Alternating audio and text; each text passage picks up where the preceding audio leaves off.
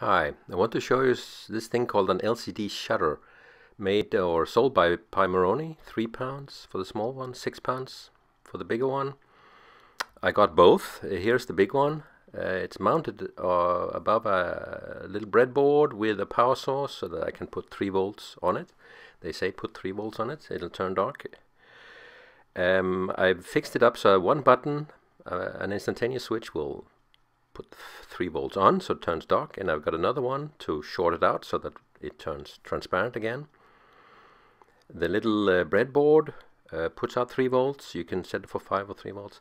Uh, it's powered by battery and um, when you turn on the battery you can see the LED through the LCD. Now I'm pressing the charge button, boop, turn dark and then you can see that the charge bleeds away because it's getting more and more transparent again. The device is said to be like a capacitor, so I measured it in one of these component testers and it said 14 nanofarads, so, so that's right, the resistance is very high, almost, uh, as far as I could measure, infinite. And during measuring on the little LCD, I think I zapped it somehow, so it, it, it doesn't turn anymore when you put the voltage on, but the big one does. And of course the interest for me, at least, is how fast does it turn opaque? And is the field, that square, is it uh, even?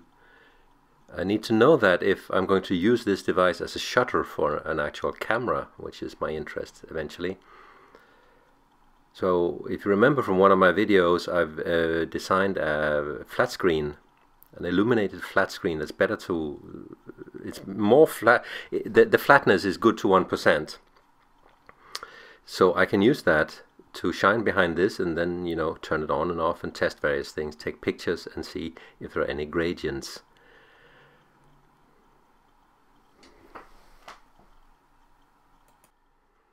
So first I'm testing how fast the device turns dark by filming the LED from above while I press the button and counting the frames.